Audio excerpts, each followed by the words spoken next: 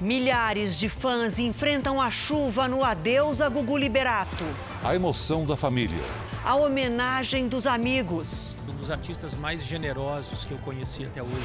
E a gratidão de quem recebeu ajuda do apresentador. Ele mudou nossa vida. Supremo libera compartilhamento de dados sigilosos com órgãos de investigação. Justiça solta brigadistas presos no Pará, suspeitos de provocar incêndios. Expectativa de vida dos brasileiros aumenta três meses e passa dos 76 anos.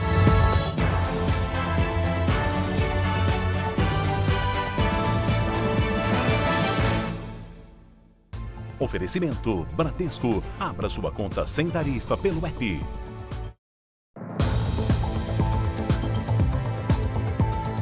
Boa noite. Gugu Liberato está sendo velado em São Paulo desde hoje de manhã. Parentes, amigos e milhares de fãs prestam suas últimas homenagens. O Jornal da Record começa indo direto ao vivo até a Assembleia Legislativa, onde está o apresentador Eduardo Ribeiro, que acompanha o velório. Boa noite para você, Eduardo. A gente acabou de receber a informação de que a família do Gugu, que resistiu aí durante todo o dia, mesmo cansada, recebendo as homenagens, acaba de deixar a Assembleia, é isso?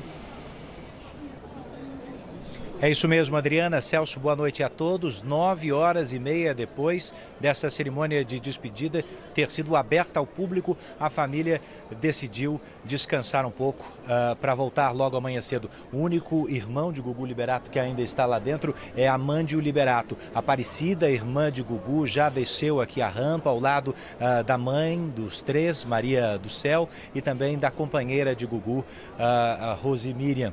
Todo mundo está numa van ali embaixo dessa rampa nesse instante, aguardando apenas a liberação, os batedores da Polícia Militar que vão fazer a escolta da família até o seu local de descanso. Inicialmente havia sido oferecida a Dona Maria do Céu a chance de dormir aqui bem pertinho, num hotel, mas ela disse que não, que quer ir para a casa da família que fica na Grande São Paulo. Depois deste descanso, eles voltam bem cedinho para cá, mas a expectativa, portanto, é de que eles estejam para uma cerimônia reservada que acontecerá amanhã pouco antes do sepultamento do apresentador. Celso, Adriana. Eduardo, enquanto você falava, a gente acompanhava a imagem do momento da chegada da Dona Maria do Céu, de cadeira de rodas, e ela passou todo o dia aí, como você informou. Agora vamos falar do público, Eduardo, que ficou também em filas gigantescas ao longo do, ao longo do dia todo. Está mantida a previsão de velório aberto a noite inteira? Essa é a vontade da família e assim foi decidido por volta das três horas da tarde, nós já tínhamos essa confirmação. Pelo menos 250, 300 pessoas por hora passaram em frente ao caixão uh, que, onde está o corpo do apresentador Gugu Liberato. E assim vai permanecer uh, durante toda a madrugada, Adriana. Agora há pouco, os produtores do jornalismo da Record TV ah, confirmaram que a fila continua dobrando três esquinas ao redor da Assembleia Legislativa e passa de dois quilômetros de extensão, apesar apesar do horário. A chuva deu um pouquinho de trégua, a garoa foi embora, as pessoas continuam entrando e prestando sua homenagem silenciosa e respeitosa ao apresentador, à família e a todos aqueles que admiravam uh, Gugu Liberato. A expectativa é de que amanhã, às 10 horas da manhã, logo depois de uma cerimônia um pouco mais reservada somente para parentes e amigos, Gugu tenha o corpo transportado daqui diretamente para o cemitério Getsemane, que fica no bairro do Morumbi, zona sul de São Paulo.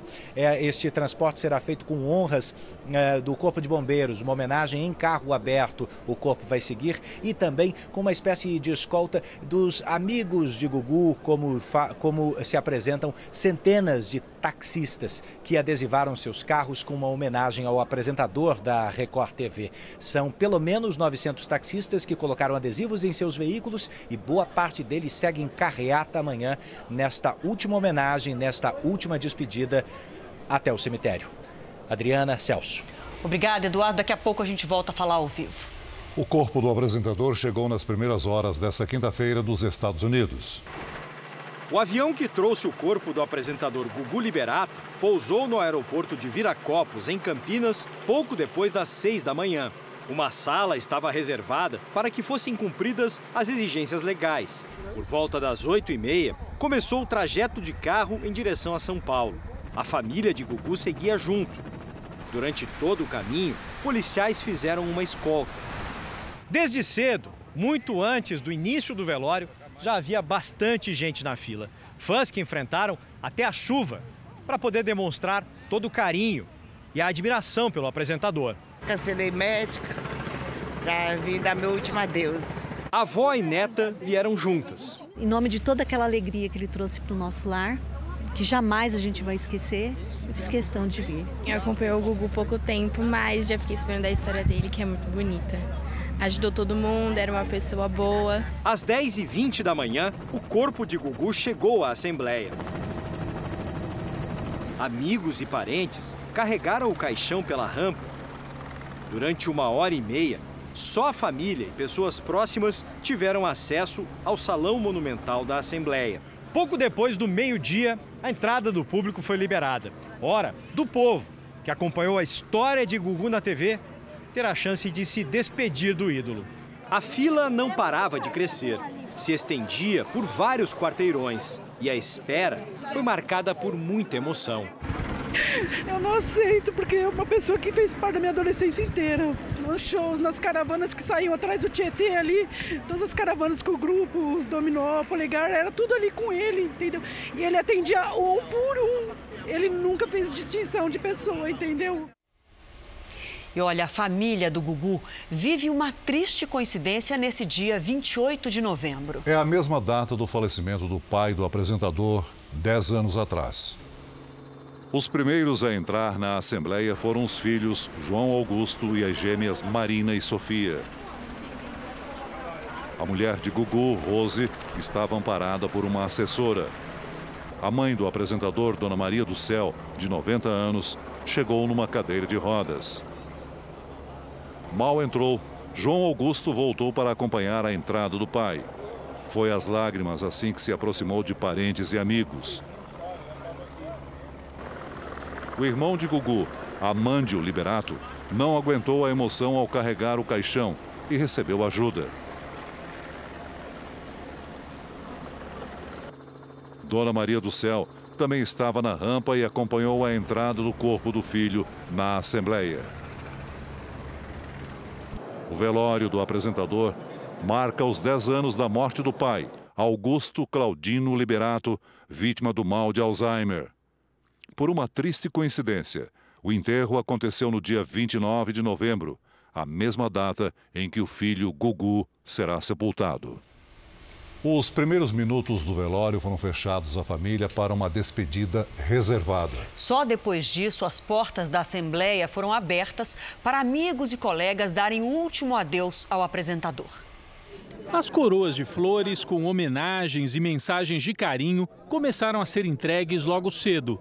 Aos poucos foram chegando pessoas que conviveram com Gugu durante sua longa carreira na TV.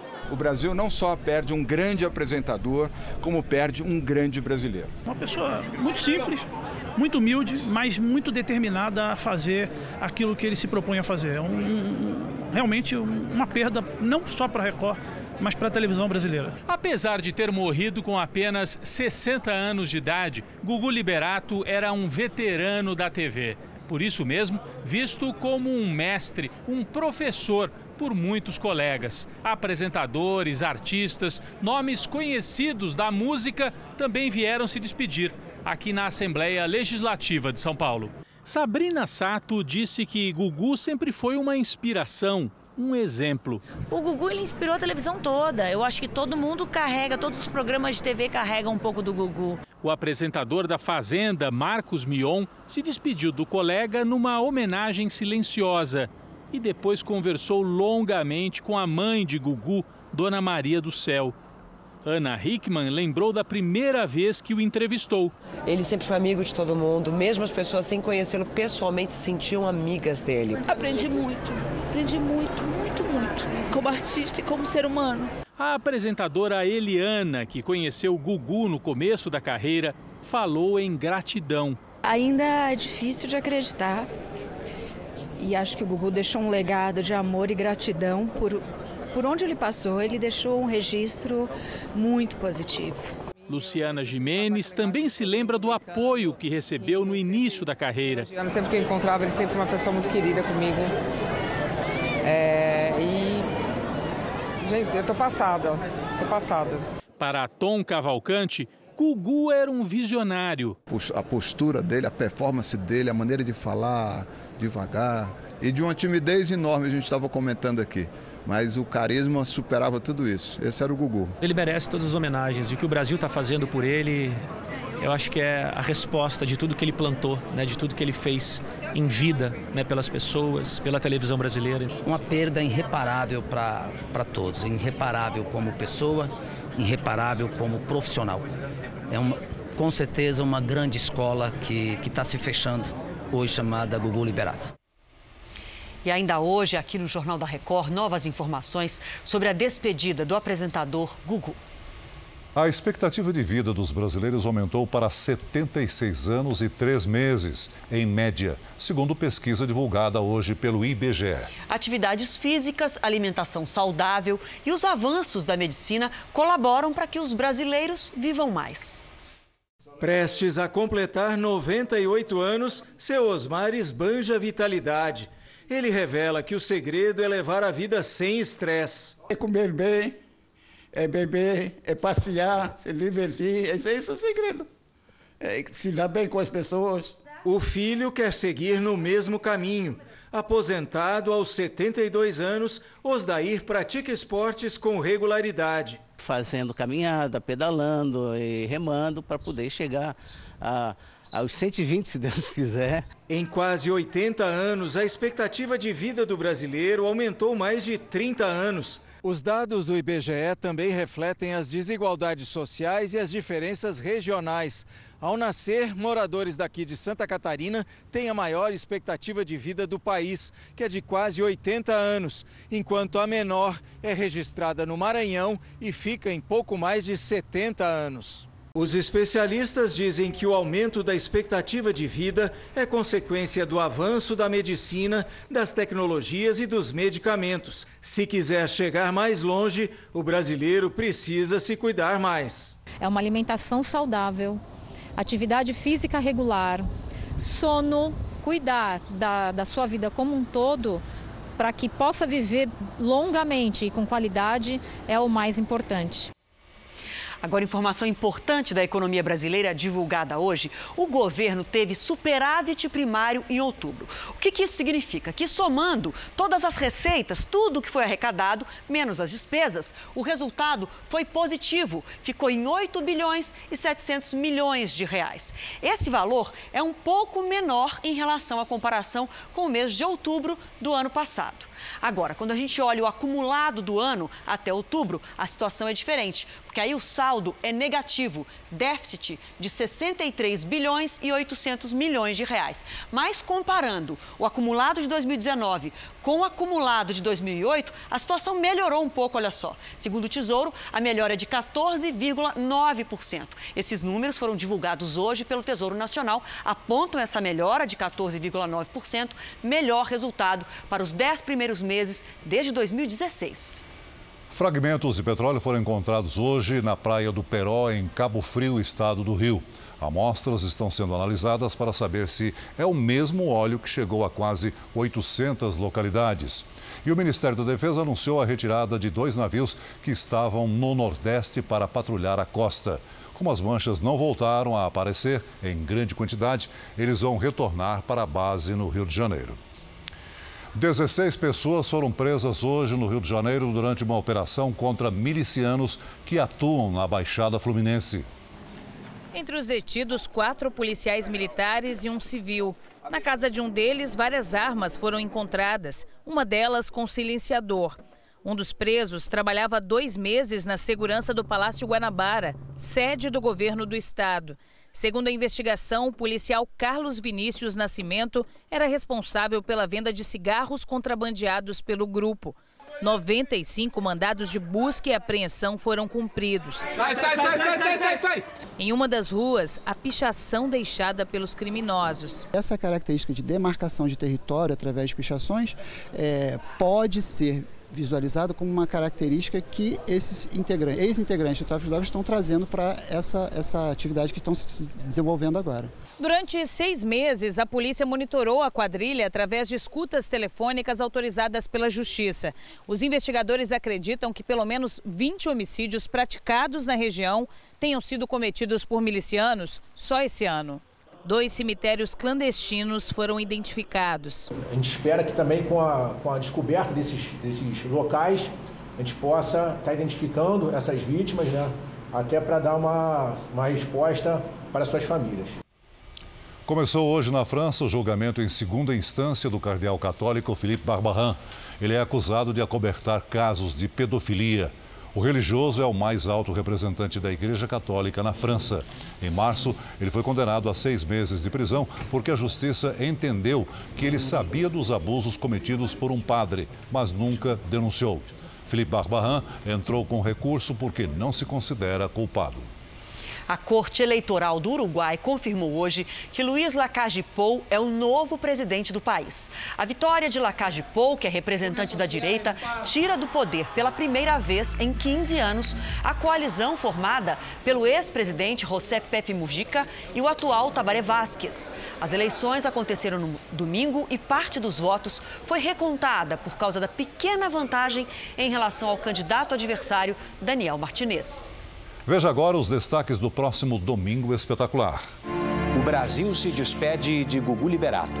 O adeus dos fãs e as últimas homenagens ao apresentador. Como a doação dos órgãos de Gugu inspira brasileiros a seguir o exemplo que ajuda a salvar vidas. Quem são os criminosos que comandam sequestros de dentro dos presídios? Ah, puxou, puxou. Como eles atraem as vítimas com falsos anúncios? O mitos e verdades da comida crua. O que pode, o que é perigoso e qual a maneira certa de preparar alimentos sem cozinhar. É no Domingo Espetacular, logo depois da hora do fato. A gente espera você. Veja a seguir: o Supremo libera acesso a dados sigilosos para investigações sem autorização da Justiça. E no adeus a Gugu, a gratidão de quem recebeu a ajuda do apresentador.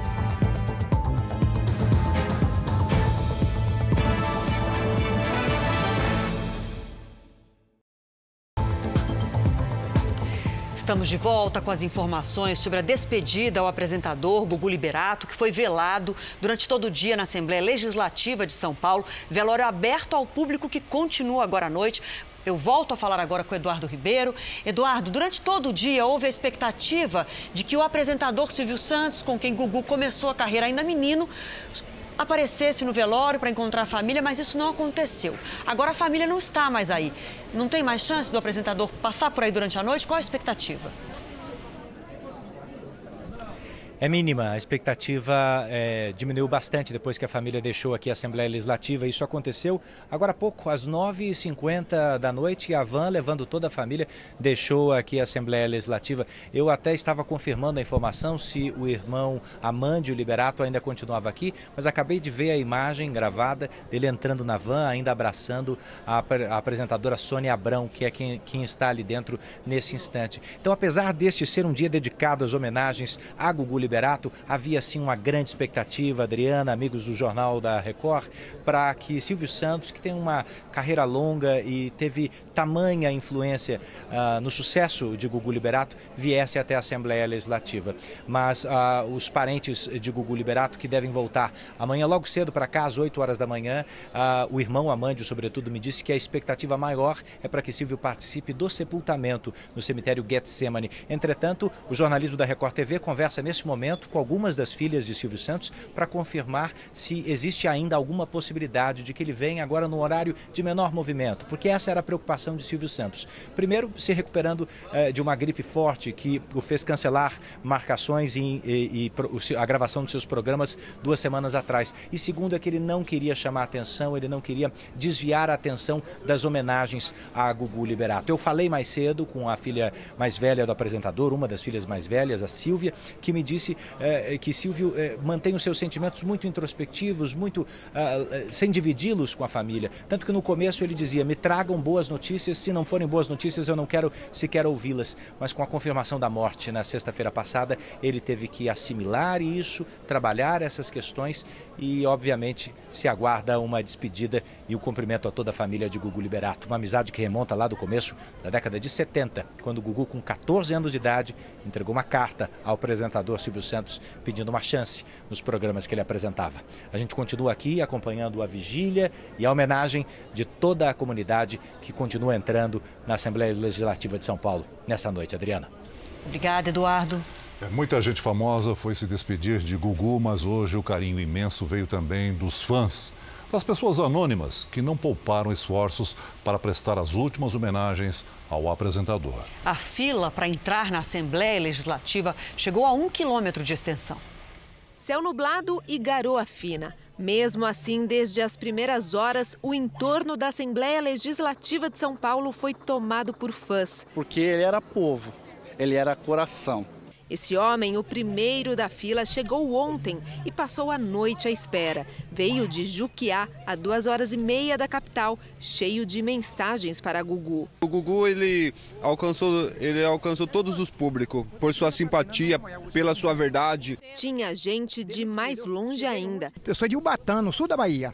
Eu vim trazer aquela homenagem para aquele cara, eu chamo o cara, que é o grande apresentador que foi e vai ser internamente no nosso país. Não importava o tamanho da fila, todos estavam dispostos a esperar o tempo necessário para homenagear o apresentador. Vemos aqui com uma tristeza tão grande no coração, mas no mesmo tempo feliz, porque aproveitou 60 anos do Gugu, 60 anos de felicidade, 60 anos de amor, 60 anos de compaixão. A gente fica muito triste, né? Porque vai deixar muitas saudades pra gente, sabe? Ó, mesmo com a idade que eu tenho, a gente gostava da alegria dele. Uma admiração que passou de geração para geração.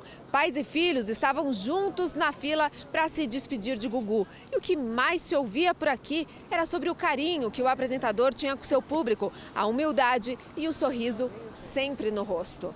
Na fila, centenas de mensagens de adeus, em faixas, cartazes, flores e também a lembrança da alegria dos programas de Gugu. Ele bate as asas, ele faz piu-piu, ele manda o medo é de gavião.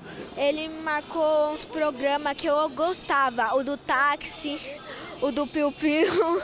Eu amava ele. Solange trouxe o filho e fala do legado que o apresentador deixou aos brasileiros. O que, que fica mais dentro da senhora? Carinho. Né? Ele transmitiu muito amor, carinho para o público, ajudou muitas vidas. No meio dos fãs, os gêmeos Márcio e Marcelo, que ganharam uma casa na estreia do Gugu na Record TV. A palavra que fica é gratidão. E ele mudou nossa vida, né, mano? Todo mundo vê eu, meu irmão aí, fala os gêmeos do Gugu, os gêmeos do Gugu, entendeu? Que ele também tem duas filhas gêmeas, né? E que Deus dê força para eles. Eu só peço que Deus conforte o coraçãozinho da Maria do Céu, que é a mãe dele, e para o filho dele que dê muita força, porque foi uma perda muito triste. E com a certeza de que ele está ouvindo, vai o recado de Dona Selma. Muitos famosos passaram hoje por aqui, mas os fãs, todos anônimos que nem se conhecem, se uniram para um agradecimento final de quem vai guardar a história de Gugu para sempre. Ele bate as asas, ele faz piu-piu, mas tem muito medo é do gavião. Saudades, Gugu, vai com Deus. A gente transmitiu, testemunhou isso hoje, né? Carinho, gratidão, o amor do público pelo Gugu. Agora a gente já volta ao vivo ao velório do apresentador lá na Assembleia com a repórter Giovana Rizardo. Giovana, boa noite para você. A gente mostrou aí o dia todo debaixo de chuva. Essa fila gigantesca continua chegando gente aí na Assembleia agora? Oi, boa noite, Adriana. Boa noite, Celso. Boa noite a todos. Sim, Adriana, já são quase 12 horas de velório do apresentador Gugu Liberato e as pessoas continuam chegando. A chuva finalmente, Adriana, deu uma trégua para as pessoas, para os admiradores, para os fãs de Gugu Liberato e eles continuam, persistem aqui na fila, viu? Está ainda de virar quarteirão, como a gente mostrou mais cedo, e essa fila continua durante a madrugada adentro. As pessoas vão aqui prestar a sua última homenagem ao apresentador Gugu Liberato. Inclusive, a Polícia Militar continua do lado de fora fazendo os grupos de pessoas para que venham aqui aos poucos. Está sendo tudo muito tranquilo, com muito respeito. Todos os admiradores do Gugu, inclusive jovens, crianças, é, pessoas mais idosas. Então, quer dizer, né, um apresentador realmente que fez a diferença para toda a família brasileira.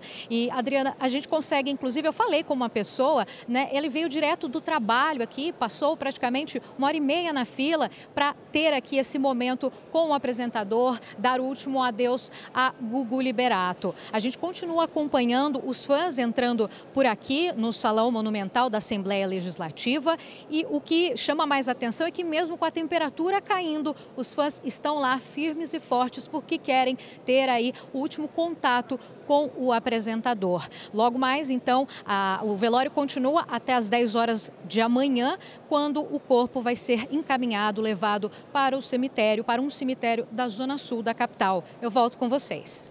Muito obrigada, Giovana. É, Gogol Liberato comandava aqui na Record TV o programa Canta Comigo, um reality show de música que reúne 100 jurados. Os episódios já estavam gravados e vão ser exibidos para homenagear o apresentador. O de ontem, o primeiro depois da morte dele, foi ainda mais emocionante. Uma entrada fora dos padrões. O apresentador com jeito de participante. Cada programa a gente tinha uma ideia de fazer uma entrada diferente. E dessa vez a gente quis que ele entrasse como se fosse um participante para surpreender os jurados. E eles ficaram encantados. Ei, Gugu, Parecia um pouco tímido, sem graça, no palco que ele tanto dominava. Para os colegas de trabalho, Gugu era assim mesmo, humilde. O vocalista Seba, um dos jurados do Canta Comigo, estava na gravação. Toda hora que ele entrava no palco, a gente fazia essa brincadeira. T toda hora. Ele pisava no palco, a gente começava a fazer a brincadeira e ele ficava completamente né, sem graça, ele ficava super feliz. Ei, a Sula e o Gugu eram amigos desde a época do primeiro programa de auditório dele. Eles se conheceram praticamente na frente das câmeras, engataram uma amizade e depois ficaram um tempo sem se ver, se reencontraram agora, né, Sula? É. No Canta Comigo, que você foi jurada. Como é que foi esse reencontro com ele? O Gugu é uma pessoa muito generosa ele sempre se colocou numa posição que parecia que era ao contrário, que era ele que estava vindo no nosso programa, porque ele tinha uma humildade muito grande. Sula Miranda já participou de mais de 100 programas de auditório, mas conta que o carisma de Gugu era único. Envolvia a plateia e os convidados de um jeito diferente. Não por acaso, a declaração feita no Canta Comigo foi espontânea, fora do roteiro. Ei, Gugu, já disse que te amo hoje. Então, acho que isso vai ficar para o Brasil inteiro, né? A gente ter, eu tive a oportunidade de naquele dia dizer é, o quanto eu amava. Eu tive, não tive a oportunidade de dizer para ele dessa gratidão. Os próprios jurados se emocionaram ao ver as cenas do programa, que teve a alegria de sempre do apresentador e terminou com uma homenagem nas palavras do próprio Gugu. E eu acho que a gente vai sentir saudades uns dos outros.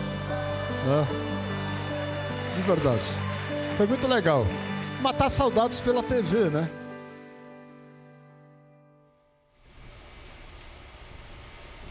Daqui a pouco nós voltamos com mais informações sobre o velório do apresentador Gugu Liberato. A maioria dos ministros do Supremo Tribunal Federal decidiu que informações financeiras podem ser investigadas sem autorização da Justiça. O placar entre os ministros foi de 8 a 3. Mas os detalhes de como isso vai funcionar na prática ficaram para a semana que vem. Com o voto da ministra Carmen Lúcia, o Supremo chegou à maioria para permitir o compartilhamento de dados da Receita Federal para investigações.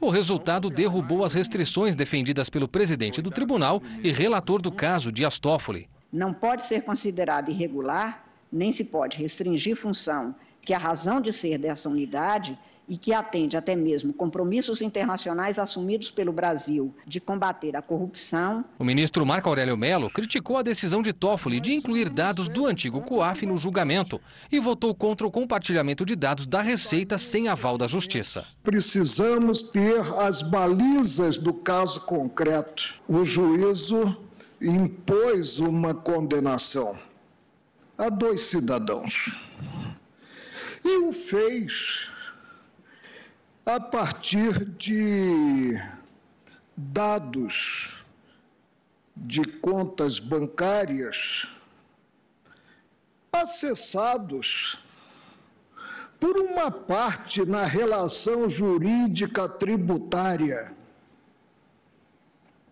a Receita. A Receita parte na relação tributária pode quebrar o sigilo de dados bancários.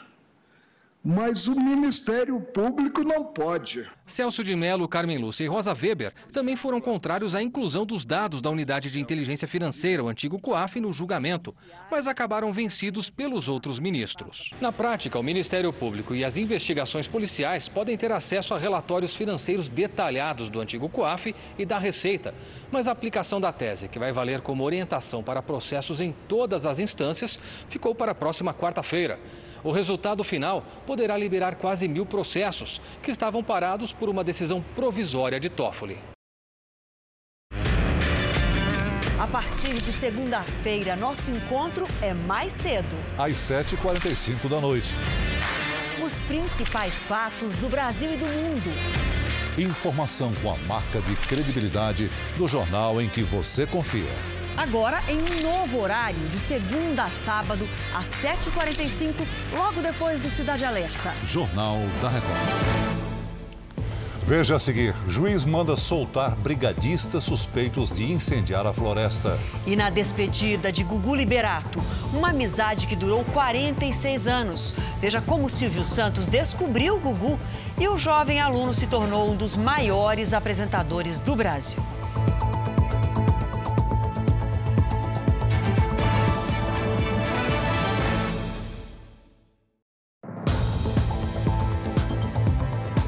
A família de Silvio Santos também está de luto pela morte de Gugu Liberato. Como o próprio Gugu dizia, ele foi descoberto por aquele que considerava um ídolo e um professor. Programada. Ainda existiam a censura federal e a pioneira TV Tupi. A produção era bem simples. Vai continuar o programa Silvio Santos. Silvio Santos lia na TV piadas que recebia do público por carta. Os jurados decidiam quem seria premiado. TV Tupi, bairro do Sumaré, em São Paulo, anos 70. Clima pesado da ditadura militar. Silvio Santos distraiu o povo, alegrava as pessoas promovendo uma gincana, tarefas que o telespectador deveria cumprir. Gugu aproveitou a ocasião, veio até aqui do seu bairro de origem, a Lapa, não muito longe. Trazia uma cartinha com sugestões. Silvio Santos leu e gostou. Eu falei assim: olha, eu sou office boy, eu, eu trabalho meio período numa imobiliária. É, ele falou: quanto você ganha por mês? Eu falei: eu ganho 156 cruzeiros. Naquela época era cruzeiros. Tá. Ele falou assim para mim: olha, eu te pago 450 cruzeiros. Da produção, nos bastidores, Gugu foi para a reportagem. Pouco a pouco foi ganhando o traquejo do mestre. Assumiu o comando de quadros até a grande estreia de 1993, no Domingo Legal. Acho que tudo que o Gugu aprendeu foi com o Silvio Santos. Foi uma longa relação profissional entre Gugu e Silvio Santos, mais de 35 anos, até o apresentador transferir-se para a Record TV em 2009, desfazendo a expectativa de que ele seria o herdeiro do programa Silvio Santos. A relação dele do Silvio Santos foi como pai e filho. Em nota, o SBT disse que Gugu será sempre parte de sua história.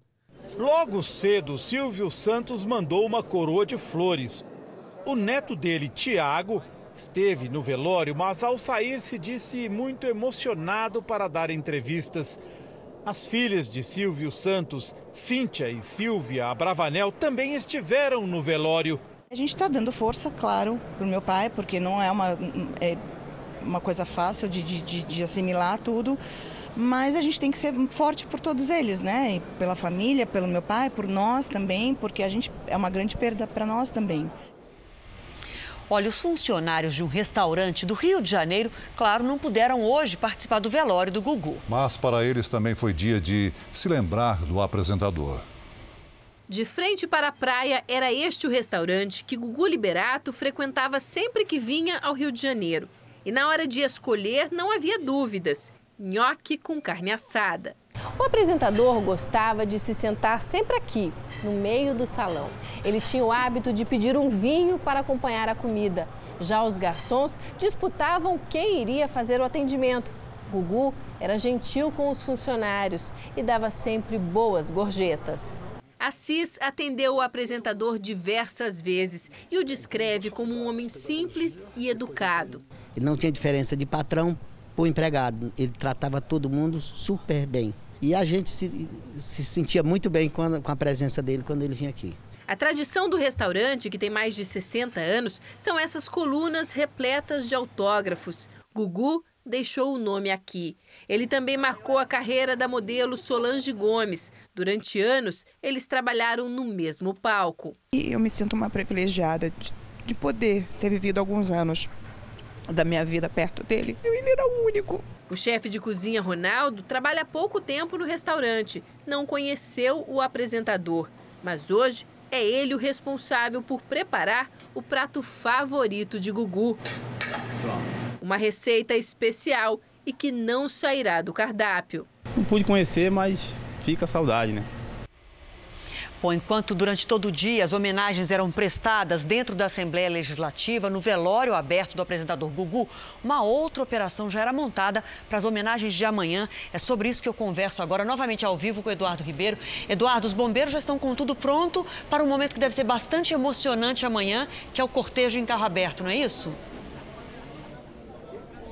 Sem dúvida, Adriana, e será uma homenagem grandiosa. Primeiro, porque está repleta de simbolismo. Quem ficou encarregado dessa operação é o mais antigo grupamento do Corpo de Bombeiros da capital paulista, o primeiro grupamento de bombeiros, que no passado trabalhou em emergências muito importantes, como os incêndios no edifício Andraus e Joelma e depois desabamentos no Vale do Anhangabaú. Sete bombeiros terão a tarefa de ficar em cima do caminhão acompanhando o caixão que leva o corpo do apresentador Gugu Liberato. Sobre o caixão, uma bandeira do Brasil. O deslocamento, que começa a partir de 10, 10 e 40 da manhã de amanhã, deve durar cerca de 30 minutos, um trajeto de 10 quilômetros aqui da região do Parque do Ibirapuera, onde fica a Assembleia Legislativa de São Paulo, até o cemitério Getsemane, na Zona Sul, no bairro do Morumbi.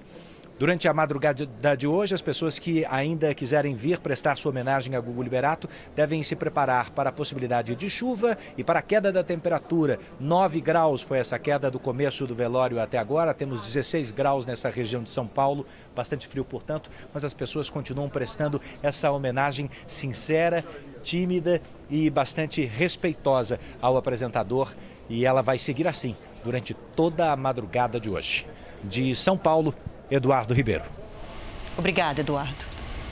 Foram soltos hoje em Santarém os quatro participantes da Brigada Anti-Incêndio de Alter do Chão, no Pará. O governador do estado afastou o delegado que investiga o caso. Eles tinham sido presos na terça-feira pela Polícia Civil por suspeita de provocar os incêndios na região. O Ministério Público do Pará pediu acesso ao inquérito porque a investigação federal, que já dura dois meses, aponta como suspeitos grileiros sem nenhum envolvimento dos brigadistas. Segundo o juiz, a polícia não apresentou elementos nem fatos novos que justificassem as prisões. O governador Helder Barbalho passou a investigação do caso para a Delegacia Especializada em Meio Ambiente. Na Bahia, uma universitária que dedicou o trabalho de conclusão de curso ao estudo da violência contra a mulher acabou vítima de feminicídio. O crime foi em Cachoeira, cidade histórica a 130 quilômetros de Salvador. Elitânia de Souza da Hora foi morta a tiros ontem à noite. Ela tinha saído da Universidade Federal do Recôncavo Baiano, onde cursava serviço social. O principal suspeito é o ex-namorado, José Alexandre Passos Góes, filho de um juiz de uma cidade vizinha. Elitânia já tinha prestado queixa por agressão contra ele e conseguiu uma medida protetiva que impedia a aproximação do suspeito. A autoria já está definida, principalmente porque no momento da diligência eu já identifiquei uma testemunha, já acolhi a declaração dela e aí firmei a minha convicção na autoria do fato. A universidade decretou luto de três dias. Colegas e professores protestaram.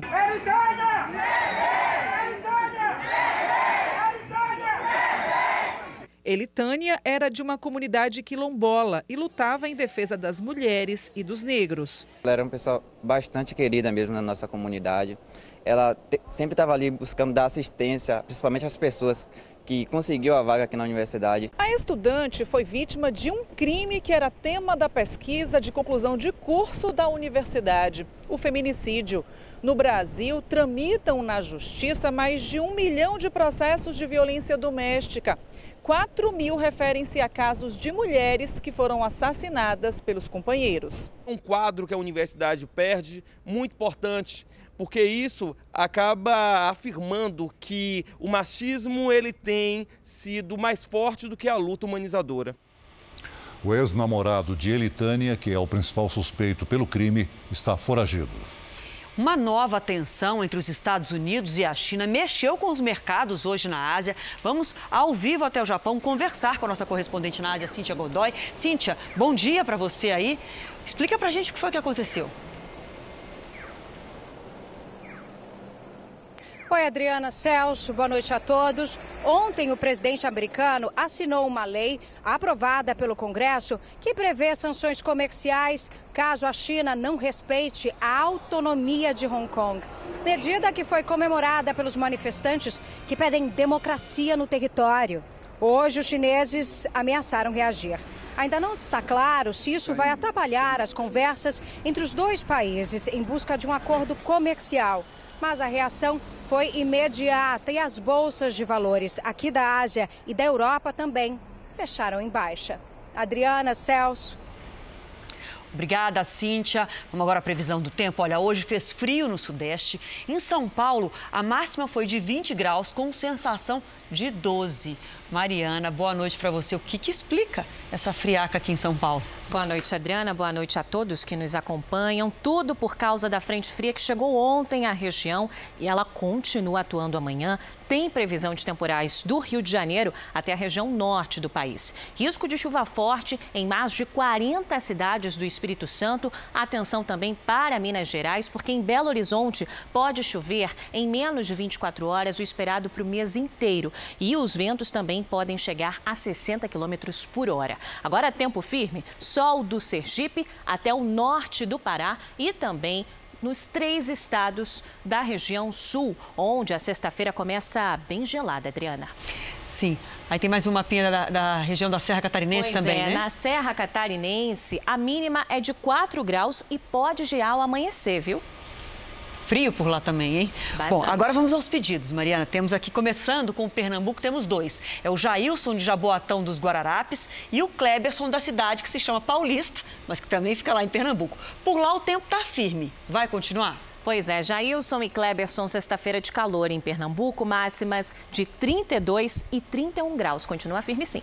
Então, agora, tempo delivery agora para o Rui Santos, de Mato Grosso. Ele quer saber se vai chover na cidade dele, que se chama Peixoto de Azevedo. Rui, infelizmente, não só chove, como tem alerta para tempestades em todo o estado. Mas o tempo continua abafado, máxima de 31 graus aí. Agora aqui em São Paulo, muitas nuvens e garoa, aquele tempo típico, máxima de 23 graus, aliás, 22 graus, Adriana. Bom, e o frio, aquela ventania que você falou de Belo Horizonte, me surpreendeu também, viu? Obrigada. Até amanhã. Tchau, tchau. Os Estados Unidos comemoraram hoje um de seus maiores feriados. No dia de ação de graças, ou Thanksgiving, não podia faltar o tradicional desfile de balões gigantes em Nova York. Mas nem todos puderam participar da diversão e das festas em família. Nos aeroportos do país, centenas de voos foram cancelados e milhares registraram atraso. Mais de 30 estados ficaram sob algum tipo de alerta devido a questões climáticas. Milhões de pessoas enfrentam transtornos por conta de neve, chuva e ventos fortes. Não foi o caso do presidente Trump. Ele conseguiu fazer uma visita surpresa ao Afeganistão para passar o dia de ação de graças com soldados americanos. Uma brasileira ganhou medalha de ouro na Olimpíada Internacional de Matemática na China. Um detalhe: ela está apenas no nono ano, mas competiu com alunos do ensino médio. A medalha de ouro e o sorriso largo representam uma inesquecível conquista. Na hora na minha, a minha ficha não caiu, só quando eu cheguei mesmo assim, no aeroporto no Rio de Janeiro, no Brasil, falei, nossa. Adriene Teixeira, de 15 anos, foi a única mulher brasileira a ganhar uma medalha de ouro na Olimpíada Internacional de Matemática, realizada na China na semana passada. A estudante competiu com alunos dois ou três anos mais velhos, já que a disputa dividia os participantes por idade e não por série escolar. Apesar de já terem participado de mais de 10 Olimpíadas, essa é considerada uma das mais complexas. A missão da turma do Colégio Pedro II teve início bem antes dos desafios entre os cálculos matemáticos. Venderam doce, deram aulas particulares, né, fizeram rifa, fizeram várias coisas para poder arrecadar o dinheiro e no final deu tudo certo. Além da Adriene, a escola também teve ótimo desempenho. Conquistou outras premiações na competição que reuniu mais de mil estudantes de vários países. Entre eles, 164 brasileiros de 11 estados. O colégio conquistou uma medalha de ouro, três de prata e sete de bronze, além de sete menções honrosas. Ir para essa competição já era um prêmio, né? Estavam todos muito felizes pela conquista. E vir todo o grupo premiado é de arrepiar. A partir de segunda-feira, nosso encontro é mais cedo. Às 7h45 da noite. Os principais fatos do Brasil e do mundo.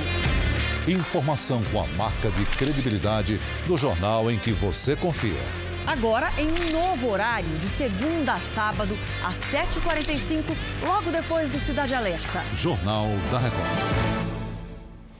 O Jornal da Record termina aqui. Você pode assistir a edição de hoje na íntegra no Play Plus.